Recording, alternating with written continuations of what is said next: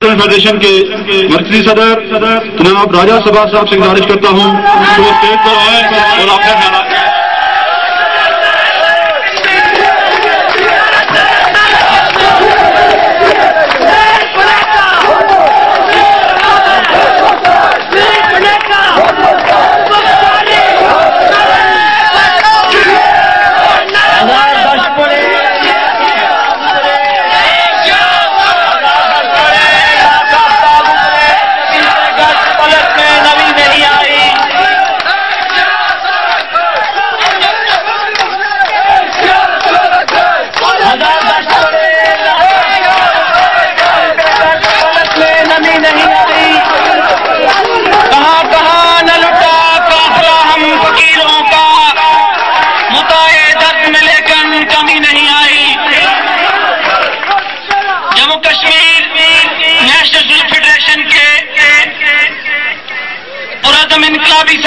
اس stage پر بیٹھی ہوئی کیا اور تمام احباب کو میرا سرخ سلام۔ سلام میں جموں کشمیر نیشنل عوامی پارٹی کے نو منتخب کیبنٹ کو مبارکباد پیش کرنا چاہتا ہوں۔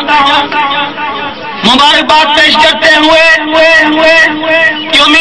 کہ جموں کشمیر نیشنل عوامی پارٹی عظیم آدرشوں کے حصول کے لیے جدوجہد کرتے ہوئے آگے بڑھے گی اور جدوجہد کے سفر میں Jammu Kashmir national student federation Jammu Kashmir national Awami party کے قدم بقدم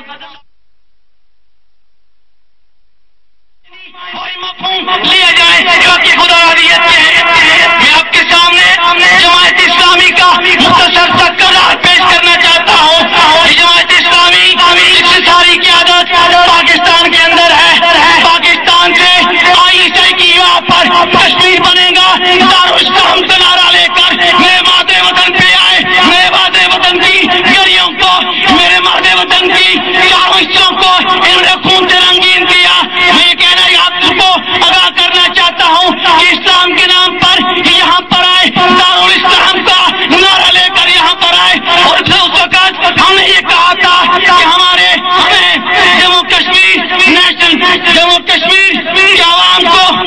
کشمیر کے لوگوں کو مسئلہ مذہب نہیں ہے، ہمیں پاکستان کے طرز پر مذہب کی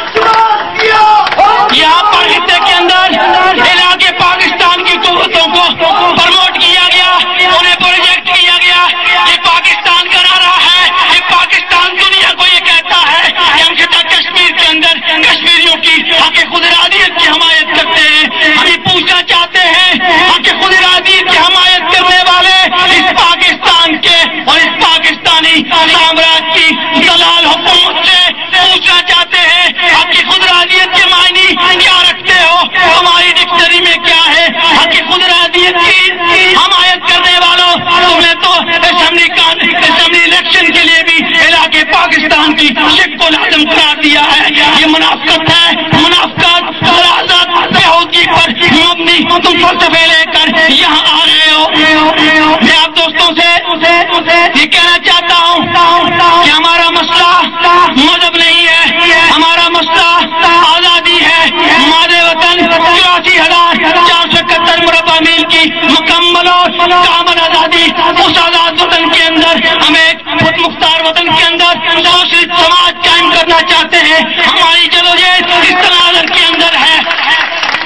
جن حالات میں آزادی حاصل کی، جس نظریے، جس منصوب، جس دستور کی بنیاد پر آزادی پاکستان نے حاصل کی۔ ہم یہ کہتے ہیں کہ پاکستان کا بدلا منافقت پر مبنی تھا۔ پاکستان ایک منافقت کے تحت، ایک سازش کے تحت قائم کیا گیا۔ ہم یہ کہتے ہیں مذہب کے نام پر منافقت کی گئی۔ اور جس مذہب کے نام پر منافقت کرتے ہوئے ایک ملک حاصل کیا گیا، میرا اور آپ سب کا یہی نعرہ ہے، یہی فلسفہ ہے کہ جو مذہب پاکستان کے رہنے والوں کا ہے۔ پاکستان کے اندر بستے والے، سامراج اس کے حواری اس کے دلالوں کا ہے۔ وہ مذہب نہ تو میرا ہے، نہ آپ کا ہو سکتا ہے، نہ خطہ کشمیر کے لوگوں کا ہو سکتا ہے۔ پاکستان کا مذہب، پاکستان کی بیوروکریسی، وہاں کے مفاداتی طبقات نے سامراج کے دلالوں نے مذہب کو ہتھیار کے طور پر استعمال کرتے ہوئے پاکستانی عوام کا بھی استحصال کیا۔ اس طرف کی کشمیری